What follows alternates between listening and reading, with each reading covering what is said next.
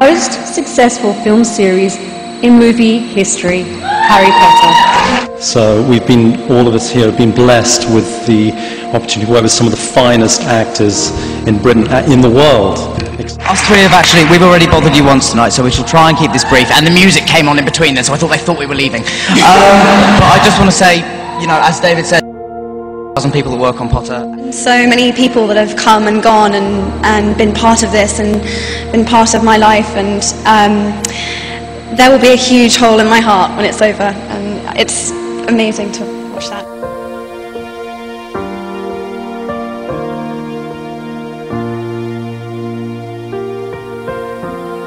I think I'm a tiny, tiny bit like Harry.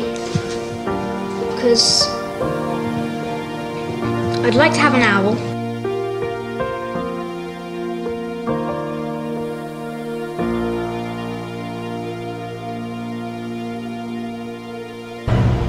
Uh, Jo Rowling asked me to read this here today.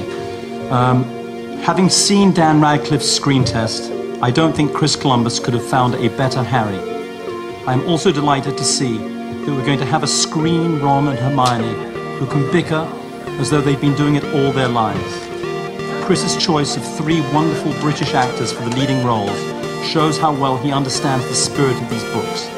I wish Dan, Emma, and Rupert the very best of luck and hope that they have as much fun acting the first year at Hogwarts as I had writing it. Hello, my name's Harry Potter. This is Hedwig. Hello, I'm Ron Weasley, and this is Scabbers the Rat. Hi, welcome to Hogwarts. Let's have a look around.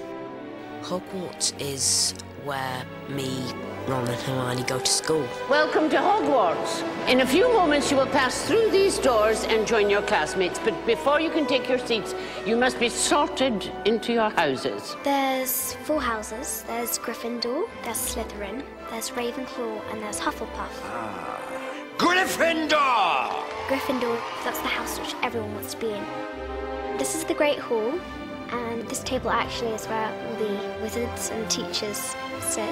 Behind us is where the children eat, and it has a magical ceiling. It's bewitched to look like the night sky. I was about nine when I started auditioning. I was already a very big fan of the books. When this rumour started going around my school that uh, there were these auditions for Harry Potter and they were coming to school. My school teacher, called Mr. Hancock, who's now left, got, I think, a note, a letter saying if there's any kids in school that you think could act in the Harry Potter film, would you mind them auditioning? And then I had to go through a lot of auditions. I'm Daniel Radcliffe and this is the set of Harry Potter.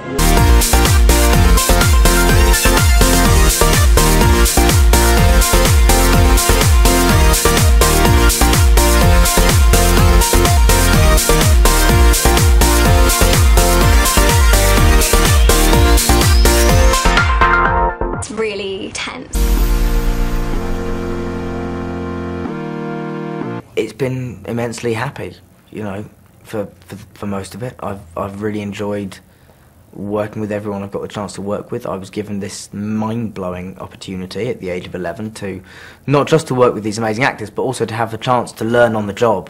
What were the emotions when they finally called cut on that last day? Um, it was overwhelming. Um, it it just felt like the a world, a world of mine. Since we finished filming um, a few months ago, it's kind of been quite a, a weird, weird. It has been a really kind of hard. When I was reading the books, I always felt a, quite a connection to Ron. I was watching um, Newsround, and they, they, they told us how you could audition for the Harry Potter film. And they said that you could send in a form and a photograph of yourself. So I did that and um, sent it in there, and a month went by, and still nothing, nothing happened. So I was on the internet and found out this one boy sent in a video of himself reading out a little script from the book. So I put together this little video thing and sent that off, and then I got an audition. It was quite strange because um, especially in like the canteen. There was like 20 other ginger people that sort of looked quite similar to me. So it, it was quite, quite, quite, quite scary as well because I've never auditioned before. It was quite a, a new thing as well. We were just a bit too eager that time. Had tremendous energy. I didn't even get to Yeah, I was terrified. The adults were fantastic. They uh, exhibited great patience, great support, um, um, and obviously great talent. Uh, there was a lot of playing around. And I think it was Dan and Rupert. They reprogrammed uh, Robbie Coltrane's mobile telephone uh, into Turkish, uh, which caused a little bit of a uh, dismay on Robbie's part. One of the most exciting things about these films would be to see these, the same cast throughout the seven films and to see them grow throughout their years at Hogwarts. Uh, that, that may be a pipe dream, that may not be possible, but it would be, from a cinematic point of view, very exciting. You would see, you would actually see Harry Potter grow from an 11 year old to a 17 year old.